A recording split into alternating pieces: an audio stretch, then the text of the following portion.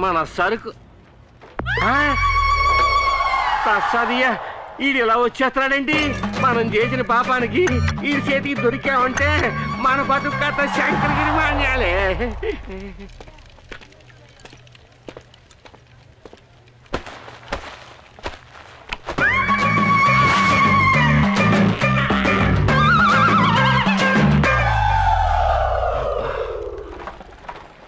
శాలిని సేపు కూర్చోమ్మా నేను ఇప్పుడే వస్తాను అలాగేనండి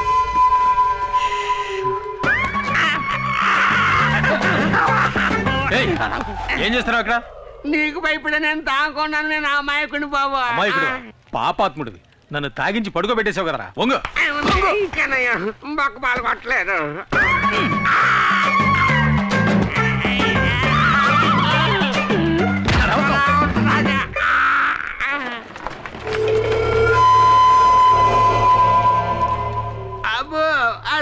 తిరువూరు నాయుడు ఏదైనా చెప్తే తప్పకుండా చెయ్యాల ఆ నిన్ను తాగించి పడుకోబెట్టమన్నారు పడుకోబెట్టి వివరంగా చెప్పు. అంజలమ్మకి నాకు ఎలాంటి గొడవ లేదు.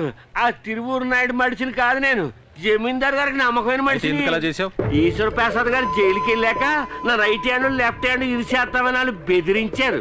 ఊళ్ళో వాళ్ళకి ఏ అన్యాయం చేయమన్నా నేను చెయ్యాలా? చూస్తారా? నేను ఊగుంటాను. బాగా. చూడండి.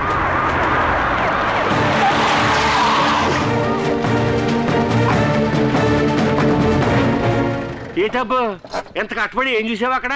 ఒక అమ్మాయి స్నానం స్నానం చేస్తున్నా? అయ్యో స్నానం చేస్తున్నాడే ఇక్కడ చాలా మంది మడుతున్నారు. అయ్యా బాబో అమ్మో చచ్చిపోయారు బాబు. ఈ అమ్మాయి ఇచ్చింది కవరింగ్ చేయండి సార్. ఆ? ఏంటి కవరింగా నేను ఇచ్చిన చైన్ తీసుకురండి.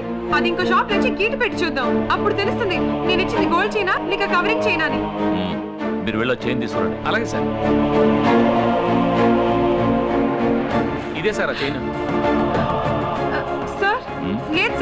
నేను ఇచ్చిన చైన్ ఇది కాదు. ఈయన మోసం చేస్తున్నాడు సార్. ఏమే?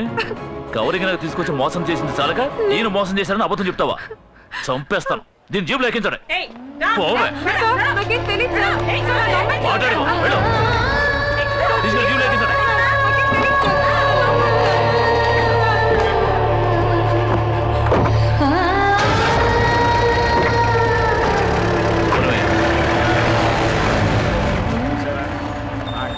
ఆ టైపు.